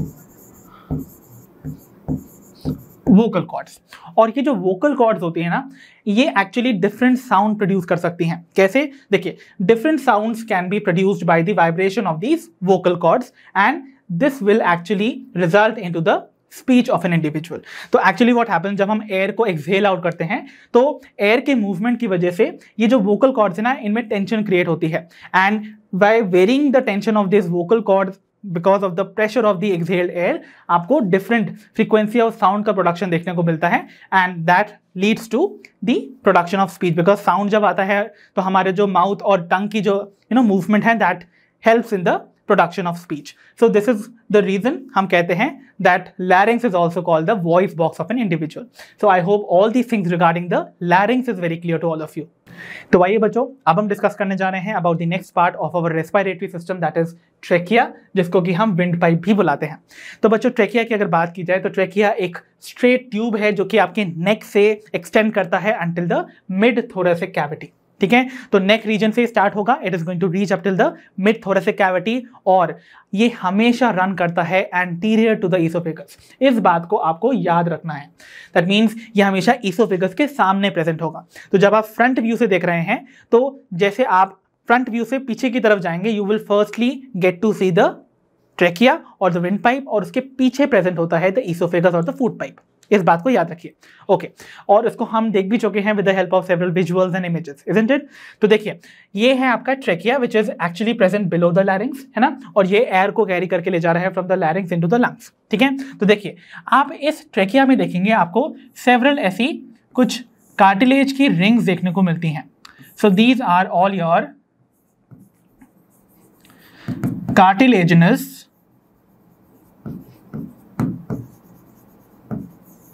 rings जो कि सी शेप्ड हैं. And remember they are going to be incomplete that means ये पीछे की तरफ़, यानी कि जब ये ईसोफेगस के साइड पर जाती हैं, पीछे की तरफ़ so they are incomplete over there fine और ये जो सी शेप कार्टिलेजनस रिंग्स होती हैं they actually are very important because ये प्रिवेंट करती हैं ट्रेकिया को from collapsing when there is not much air inside it मतलब जब एक्सिलेशन के टाइम में हम विंड पाइप से एयर को बाहर ब्लो आउट कर रहे हैं तो ऐसा हो सकता है ना because of the absence of any air inside the trachea आपकी ट्रेकिया की वॉल्स ऐसे पास आके कोलैप्स कर सकती हैं, चिपक सकती हैं तो इनकी कोलैप्सिंग को प्रिवेंट करने का काम करते हैं ये सी शेप कार्टिलेजनस रिंग्स तो ये ट्रेकिया की वॉल्स को कोलैप्स कोलैप्स करने से रोकेंगी। So this is the function of these cartilaginous rings so आइए कुछ और इंपॉर्टेंट पॉइंट्स को जान लेते हैं regarding the trachea firstly very important point जो आपको याद रखना है ट्रेकिया की जो इनर लाइनिंग है दैट मीन्स उसकी सबसे अंदर वाली जो लाइनिंग है, उसमें आपको सूडो स्टैटिफाइड एपिथीलियल सेल्स देखने को मिलेंगे। और ये जो सूडो स्टैटिफाइड सेल्स होते हैं they are going to possess cilia तो रैदर हम इस टर्म को और यू नो एनहांस कर सकते हैं by adding the term ciliated over so so, इसको हम बुला सकते हैं that inner lining of the trachea is pseudo stratified ciliated epithelial okay that means यहाँ पर आपको सूडो स्टैटिफाइड सेल्स देखने को मिलेंगे which are going to possess cilia तो देखिए आपको यहाँ पर देखने को मिल रहे हैं the pseudo stratified ciliated epithelium जहाँ पर आपको ऐसे टाइनी हेयर लाइक प्रोजेक्शंस देखने को मिल रहे हैं. Lining the tracheal wall isn't it so these are the cilia and these are the ciliated cells अब इन्हीं सेल्स के बीच में आपको ना यहाँ पर कुछ ऐसे ग्लैंडुलर सेल्स देखने को मिलते हैं विच आर यूनिसेल्युलर एंड ये जो ग्लैंडुलर सेल्स हैं they are going to be secreting certain secretion और जो आपको यहाँ पर सेल्स देखने को मिलेंगे which are going to be glandular they are going to be called goblet cells okay so these are our goblet cells तो गॉबलेट सेल्स क्या करते हैं? Actually they secrete mucus so ये सिक्रीट करते हैं, देखिए, एक थिक विस्कस फ्लूड जिसे हम म्यूकस बुलाते हैं, जो कि ग्लाइको प्रोटीनेशियस होता है। तो it is a glycoproteinaceous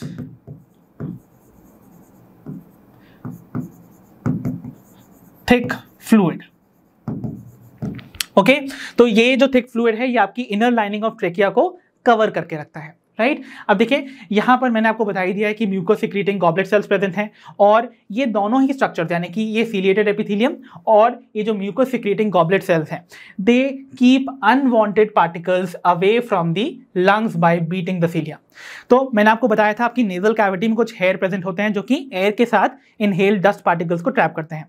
but कई ऐसे भी बहुत फाइन पार्टिकल्स होते होंगे जो कि वहाँ पर ट्रैप नहीं हो पाते होंगे and they could even reach up till your trachea तो वहाँ पर जो प्रेजेंट ये सीलिएटेड एपिथेलियम है और जो म्यूकस है, इस म्यूकस में जाके वो डस्ट पार्टिकल्स जो है वो चिपक जाते हैं। एंड इन सीलिया का जो कांस्टेंट बीटिंग है टुवर्ड्स दी अपर साइड तो ये जो सीलिया है ना they are constantly beating towards the upper side तो उस वजह से जो म्यूकस में प्रेजेंट यहाँ पर लेट सपोज़ ये वो टाइनी डस्ट पार्टिकल्स है। तो क्योंकि यहाँ पर इन सीलिया की अपवर्ड बीटिंग हो रही है, उसकी वजह से these all dust particle will be propelled upwards, okay, from your trachea into the pharynx region, जहाँ पर pharynx में आने के बाद वो आपके esophagus में enter कर जाते हैं, ठीक है?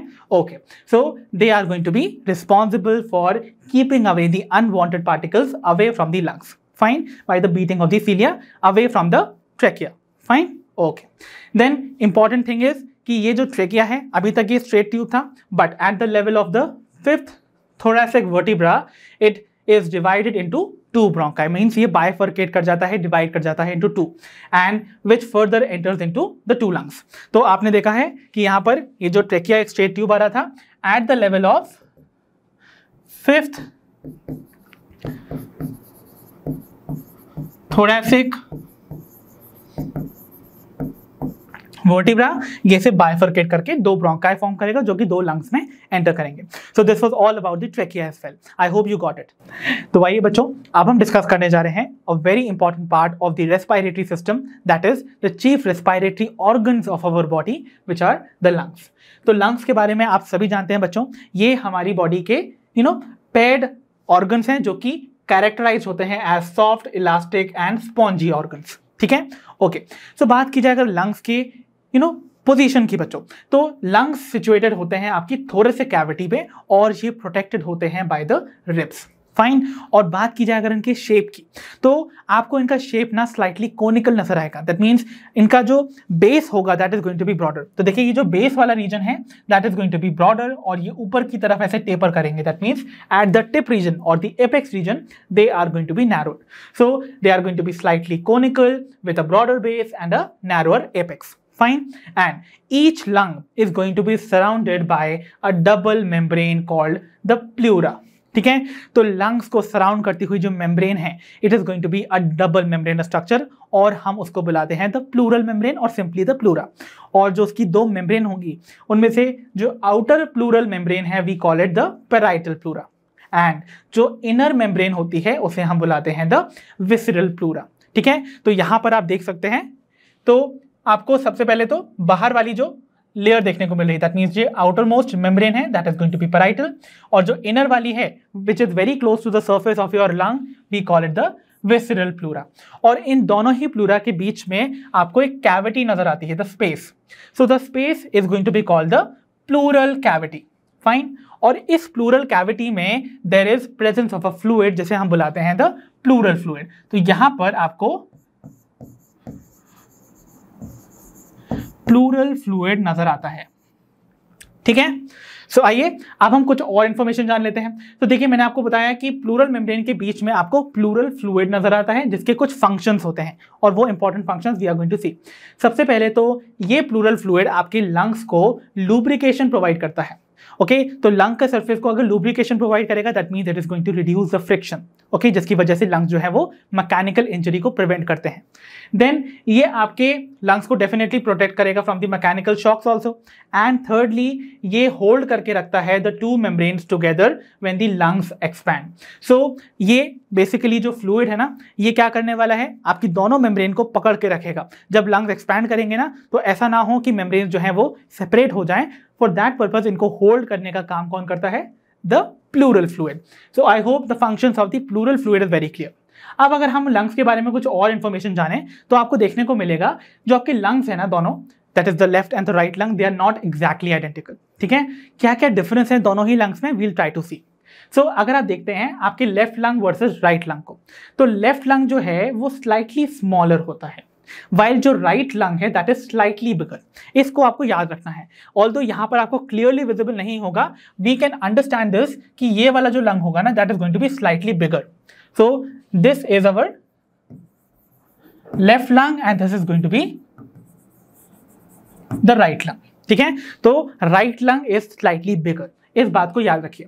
और लेफ़्ट लंग जैसा कि आप जानते हैं it is bilobe because of the presence of an oblique fissure तो ये ऑब्लिक फिशर आपके लेफ़्ट लंग को दो लोब्स में डिवाइड करता है सुपीरियर और इंफीरियर लोब में and that is why it is bilobed while जो राइट लंग है that is going to be trilobed तो ट्राइलोब्ड क्यों हो रहा है? Because of the presence of two fissures one is the oblique fissure and the other is horizontal fissure जिसकी वजह से right lung is divided into superior middle and the inferior lobe fine okay then अगर बात की जाए left lung के inner surface की तो inner surface of the left lung में आपको कार्डियक नॉच देखने को मिलता था and it was to accommodate your heart है ना?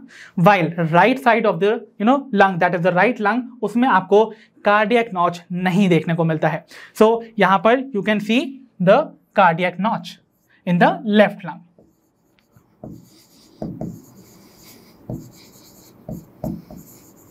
fine and the last point of difference is कि ऑब्वियसली क्योंकि लेफ़्ट लंग जो है this is going to be slightly smaller तो इसका वेट अराउंड 550 ग्राम्स आपको देखने को मिलेगा। वाइल जो राइट right लंग है, उसका वेट थोड़ा ज़्यादा होगा बिकॉज़ उसका साइज़ जो है, वो स्लाइटली बिगर है। तो it is about 600 grams so these were the basic differences between the external structure of the lungs अब अगर हम बात करें लंग्स के इंटरनल स्ट्रक्चर की तो इंटरनली हम बोले तो लंग्स जो है ना, वो कंप्राइज होता है of a network of the bronchial intercom that ends into the terminal bronchioles तो मतलब अगर आप देखेंगे ना, एक लंग इंटरनली फॉर्म्ड होता है ऑफ़ दी सेवरल ट्यूब जिन्हें हम बुलाते हैं दी ब्रोंकियल इंटरकॉम और साथ ही साथ एल्व्यूलर सैक से मिलकर बनता है। तो देखिए, आप देखेंगे आपका जो ट्रेकिया आ रहा था ना, मैंने आपको बताया था ट्रेकिया जो है वो around your fifth thoracic vertebra divide हो जाता है इनटू द टू ब्रोंकाई। अब ये जो ब्रोंकाई हैं they enter into your lung fine तो आप यहाँ पर देखते हैं, जो पहला डिवीज़न होता है ऑफ़ दी ब्रोंकस है ना? जो फॉर्मेशन हो रहा है of these two bronchi they are going to represent the primary bronchi so, ये जो प्राइमरी ब्रोंकाई बने हैं they are formed after the division of the trachea okay at the fifth thoracic vertebra now ये जो primary ब्रोंकाए हैं, ये further divide करते हैं. सी देखिए, अगर मैं इस साइड के यू नो प्राइमरी ब्रोंकस के डिवीज़न देखूँ तो आप देखिए, यहाँ पर प्राइमरी ब्रोंकस ये ब्लू वाला रीजन फर्दर डिवाइड कर रहा है बायफर्केट कर रहा है and they are going to form the secondary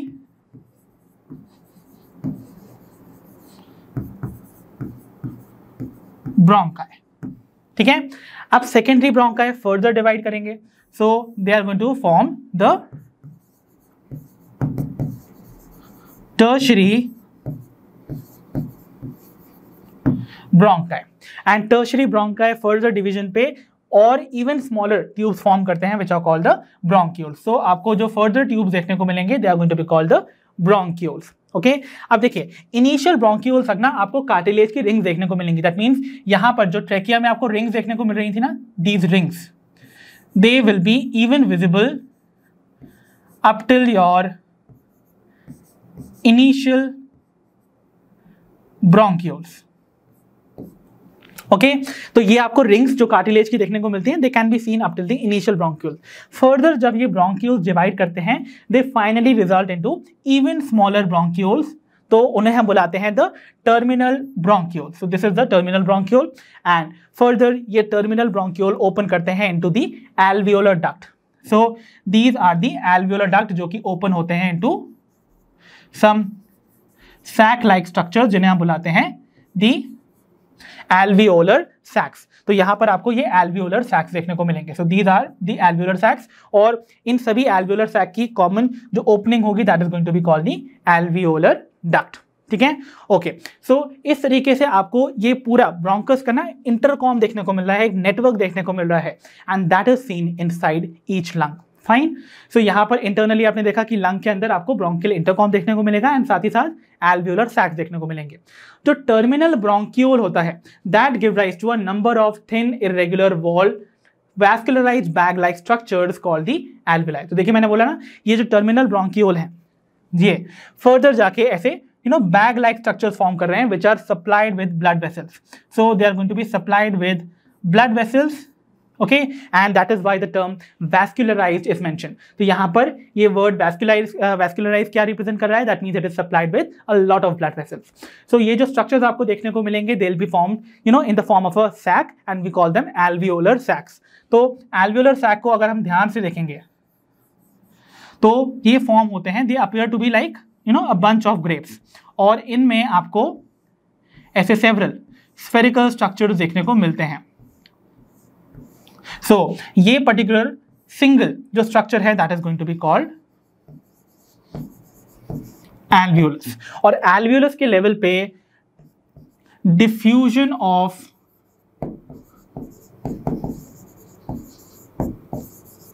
gases occurs right right? तो इस बात को आपको याद रखना है, जो गैशियस डिफ्यूजन है एक्सचेंज ऑफ़ गैसेस है, वो एल्वियोलस के लेवल पे ही अकर करता है। सो आई होप इतनी इंपॉर्टेंट बातें रिगार्डिंग द लंग्स आपको अच्छे से समझ आई होंगी। तो आइए बच्चों now we shall be taking up the alveoli in detail so alveoli की अगर बात की जाए बच्चों as I have told you ये आपके लंग्स के स्ट्रक्चरल एंड फंक्शनल यूनिट्स हैं। दैट मीन्स ये आपके लंग्स के सबसे स्मॉलेस्ट यूनिट्स हैं, जो कि उनका स्ट्रक्चर फॉर्म करते हैं और उनके फ़ंक्शंस को कैरी आउट करते हैं। ठीक है? तो जो एल्वियोलाई है ना they mark the terminal end of the respiratory tract means आपके रेस्पायरेटरी ट्रैक्ट का ultimate end is the alveoli मतलब जो भी आप एयर ले रहे हैं ना, वो अल्टीमेटली रीच करती है टू द एल्वियोलाई उसके बाद वो एयर जो है वो डिफ्यूज हो जाती है from the alveolus into the blood okay okay so alveoli के अगर नंबर की बात की जाए that is going to be huge और ये होते हैं around 300 million in the two lungs together तो दोनों लंग्स में टोटल 300 मिलियन एल्विलाई देखने को मिलते हैं। और इसका मतलब ये नहीं है कि दोनों ही लंग्स में ये इक्वली डिवाइडेड है 150 मिलियन ईच ऐसा नहीं है। Because you know very well जो आपका लेफ़्ट लंग है दैट इज़ स्लाइटली स्मॉलर इसका मतलब वहाँ पर जो नंबर ऑफ़ एल्विलाई हैं they are going to be relatively smaller than the right lung because right lung जो है, वो स्लाइटली बिगर है। तो उसमें नंबर ऑफ़ एल्विलाई भी तो ज़्यादा होंगे ना, right?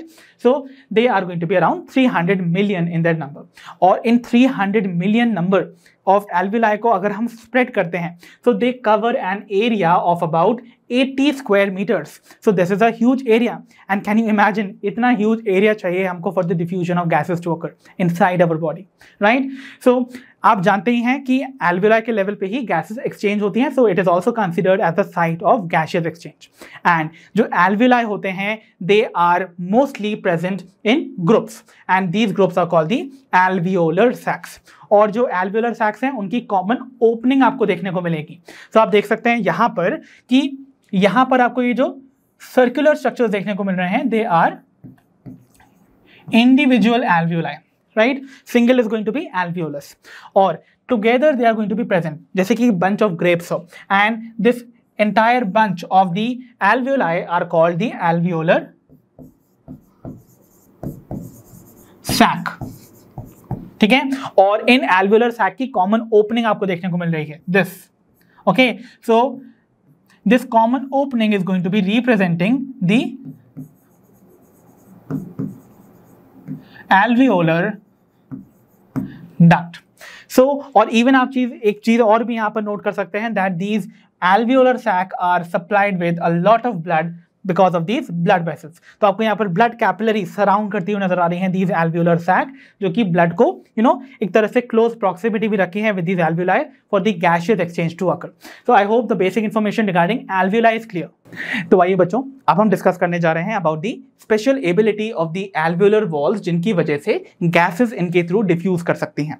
Okay okay? तो एल्व्यूलस की जो वॉल होती है बच्चों वो कंपोज होती है of the simple squamous epithelium तो बच्चों, क्या होता है ये सिंपल स्कॉमस एपिथीलियम रिकॉल करने की कोशिश कीजिए। इसको हमने अपने chapter structural organisation in animals में पढ़ा हुआ है। When we were studying the animal tissue तो आपको पता है ना, जब भी किसी एपिथीलियम से पहले वर्ड लगता है सिंपल इसका मतलब होता है यहाँ पर अरेंज जो सेल्स होंगे, वो सिंगल लेयर में अरेंज होते हैं। Okay so they are going to be compose of a single layer then जो कॉमर्स वर्ड है, वो बताता है कि सेल जो है, जो कॉन्स्टिट्यूएंट सेल है एपिथीलियम के, उनका शेप कैसा होगा।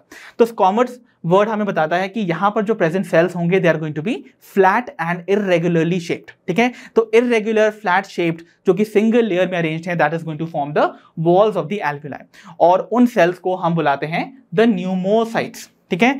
तो एल्व्यूलस का अगर हम स्ट्रक्चर देखें तो देखिए आपको यहाँ पर इस एल्व्यूलस की वॉल को फॉर्म करते हुए नज़र आ रही है। दीज नो सेल्स जो कि ग्रीन कलर से आपको यहाँ पर मेंशन है, ठीक है? सो ये जो सेल्स हैं they are since formed of you know flat irregularly shaped cells हम उसको स्कॉमस एपिथेलियम बुलाएँगे, और क्योंकि ये वन सेल थिक है दैट मीन्स ये सिंगल लेयर में अरेंज्ड है we use the word simple before it ठीक है? तो सिंपल स्कॉमस एपिथेलियम से एल्वियोलर वॉल फॉर्म होती है एंड इंडिविजुअली इन सेल्स को हम क्या बुलाएँगे? We call them the pneumocytes fine अब ये जो न्यूमोसाइट्स हैं, इन्हें हम दो कैटेगरीज में डिवाइड कर सकते हैं। पहली कैटेगरी कहलाती है the type one pneumocytes and second category would be called the type two pneumocytes तो जो टाइप वन न्यूमोसाइट्स होते हैं बच्चों they are the normal regular cells जो कि डिफ्यूजन ऑफ़ गैसेस में पार्टिसिपेट करेंगे। तो ये वो सेल्स हैं जिनके थ्रू डिफ्यूजन आकर करेगा। वाइल जो टाइप टू न्यूमोसाइट्स होते हैं, ये कुछ स्पेशल सेल्स होते हैं। अब इनका कुछ स्पेशल फ़ंक्शन है बच्चों। ये जो टाइप टू न्यूमोसाइट्स हैं दे सिक्रीट अ फॉस्फोलिपिड मतलब एक ऐसा लिपिड जिसके साथ एक फॉस्फेट मोइटी अटैच्ड है। तो ऐसे फॉस्फोलिपिड को हम बुलाते हैं लेसिथिन याद कीजिए, हमने लेसिथिन के बारे में पढ़ रखा है when we were studying our chapter biomolecules right तो लेसिथिन जो है, वो एक ऐसा फॉस्फोलिपिड है जो कि एक्ट करता है एज अ सरफैक्टेंट तो सरफैक्टेंट क्या होता है बच्चों? सरफैक्टेंट बेसिकली कुछ ऐसे सब्सटेंस हैं जो कि रिड्यूस करते हैं सरफेस टेंशन को। अब क्या होता है surface tension let us try to understand it सबसे पहले आप एक बात यहाँ पर जान लीजिए, जो एल्व्यूलस है ना, उसकी इनर लाइनिंग में आपको ना ऐसे मॉइस्चर की लाइनिंग देखने को मिलती है। दैट मीन्स यहाँ पर मॉइस्चर प्रेजेंट होता है। So alveolus has an inner moisture lining तो अगर ये जो लाइनिंग है, वो प्योर मॉइस्चर होता है या फिर प्योर वाटर होता तो आपको पता है जो प्योर वाटर है, उसकी टेंडेंसी क्या होती है? जैसे मान के चलिए, अगर यहाँ पर मैं इसको समझाने की कोशिश करता हूँ। ये है लेट सपोज़ द वाटर और इसके ऊपर प्रेजेंट है एयर तो यहाँ पर आपको वाटर के जो मॉलिक्यूल्स हैं they are going to be appearing like this है ना? कुछ फार अपार्ट होता है ना मॉलिक्यूल्स इन वाटर ना what is going to happen जब भी एयर वाटर का इंटरफेस फॉर्म होता है, तब आप देखोगे, इन वाटर मॉलिक्यूल्स की एक टेंडेंसी होती है that they tend to acquire a minimum surface area okay तो यहाँ पर देखिए क्या होने वाला है। These water molecules are going to come closer to occupy the minimum surface area. ठीक है? तो ऐसे में क्या होगा? ये वाटर मॉलिक्यूल क्लोज आने वाले हैं। दैट मीन्स ये जो फिनोमिना है, ये अकर तभी करेगी जब एयर वाटर का इंटरफेस होगा। तो इस एयर वाटर के अगर हम इंटरफेस को एक तरह से यू नो उसके बीच में बैरियर लगा दे। तो दैट मीन्स ये फिनोमेना नहीं आकर करेगी ना। अदरवाइज़ क्या होता? देखिए, अगर ये प्योर मॉइस्चर होता तो इस सरफेस टेंशन की फिनोमेना की वजह से जब इस एल्व्यूलर कैविटी में या फिर एल्व्यूलस के अंदर कम एयर प्रेजेंट होती, जब इसके अंदर प्रेशर कम होता है एयर का दैट मीन जब हमने सपोज़ लेट से एयर को एक्सेल आउट किया होता तो इसमें एयर कम होती, उसकी वजह से दिस सरफेस टेंशन की जो फिनोमिना है, वो इस एल्व्यूलस की वॉल को ऐसे क्लोज लेकर आती, और उसकी वजह से क्या होता, ये एल्व्यूलर वॉल चिपक भी सकती थी दैट मीन्स वो कोलैप्स भी हो सकते थे। तो उसको प्रिवेंट करने के लिए जो टाइप टू न्यूमोसाइट्स हैं दे सिक्रीट ऑफ़ फॉस्फोलिपिड जिसका कि स्ट्रक्चर एम्फीपैथिक होता है। जैसे कि आप जानते हैं ना एम्फीपैथिक मतलब इसके पास एक हाइड्रोफिलिक हेड होगा और हाइड्रोफोबिक टेल होगी। ठीक है? सो हाइड्रोफिलिक जो हेड होता है ऑब्वियसली दैट टेल्स यू कि hydro means water and philic means loving तो मतलब ये वाला जो पोर्शन होगा of the phospholipid molecule it is going to be you know attracted towards water और हाइड्रोफोबिक का मतलब होता है, यहाँ पर हाइड्रो मीन्स होता है again water phobic means repelling या फिर उसको फियर होता है वाटर का. So this is going to be water repelling tail तो ऐसे में क्या होगा, जब ये फॉस्फोलिपिड लेसेथिन नाम का सिक्रीट होगा तो वो इस इंटरफेस में कुछ इस तरीके से अरेंज हो जाएगा. सच दैट इसका जो हाइड्रोफिलिक वाला पोर्शन है that is going to face toward the water and जो उसका, जो टेल वाला पोर्शन है दैट इज़ हाइड्रोफोबिक वो एयर की तरफ़ फेस करेगा। तो इस तरीके से जो इनर लाइनिंग होती है, उसमें अरेंज्ड मॉइस्चर में आपको फॉस्फोलिपिड लेसिथिन अरेंज नज़र आने वाला है। ठीक है? तो something like this like this तो ऐसे में देखिए, ये जो पर्टिकुलर फॉस्फोलिपिड है, ये क्या कर रहा है? ये इस एयर वाटर के इंटरफेस को फॉर्म नहीं होने दे रहा है, उसके बीच में एक बैरियर का काम कर रहा है। So this is going to be the phospholipid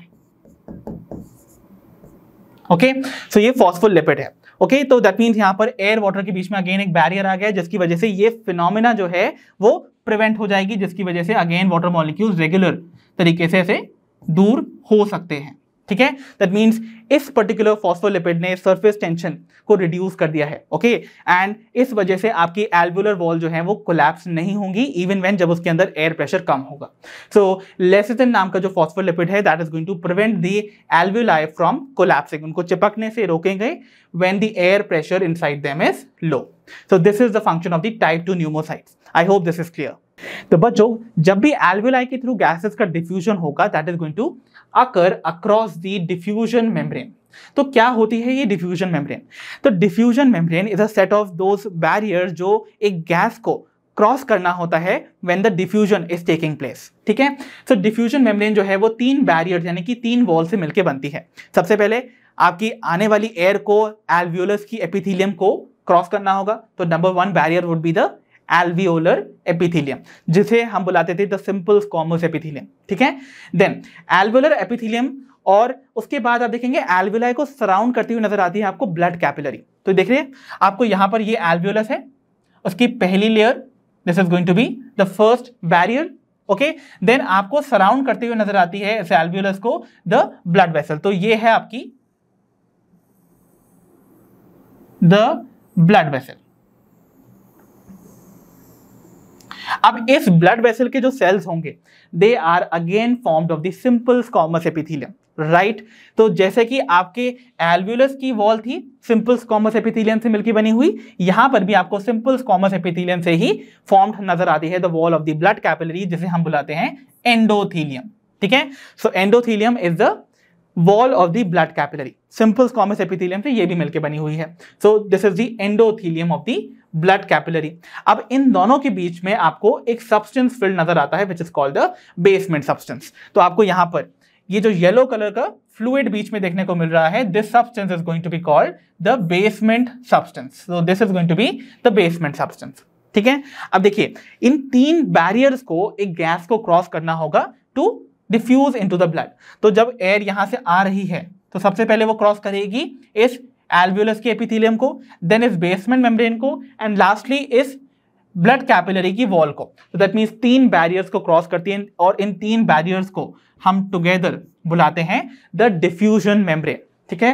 So diffusion membrane has three barriers alveolar epithelium basement substance and the endothelium of the blood capillary और टुगेदर इन तीनों मेम्ब्रेन का जो थिकनेस होता है that is less than even a millimetre यानी कि एक मिलीमीटर से भी इनकी थिकनेस जो होगी वो कम होगी। So this was all about the alveoli आपको बेसिक इन्फॉर्मेशन आई होप जो भी मैंने बताई है रिगार्डिंग एल्व्यूलाई वो आपको समझ आई होंगी। तो बच्चों this was all for today from the chapter breathing and exchange of gases अब हम मिलेंगे अपनी नेक्स्ट वीडियो में। अंटिल देन आप अपना ध्यान रखिए, पढ़ते रहिए और जैसा कि आप सभी जानते हैं लर्नो हाफ़ फ्री है पर बेस्ट है।